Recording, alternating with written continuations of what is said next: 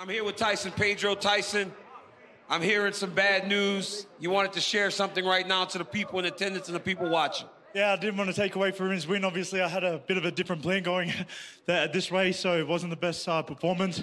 So thank you to all the fans. I wanted to say thank you very much to the UFC uh, for everything they've done on this journey, especially thanks to my team, anyone that's helped me get to this stage of my martial arts career. It's been amazing, but it's always been my intention to show my daughter that as long as you work your ass off and grind towards what you love, you can do anything you can dream of. And I think my dreams have just changed at this point. So that's it for me with uh, UFC. Um, thank you to all the fans from the bottom of my heart. I don't think it's goodbye, just see you later. So until then, thanks everyone. Tyson, it has been an honor to call you fights. Congratulations on a wonderful career. Ladies and gentlemen, give it up for Tyson Pedro.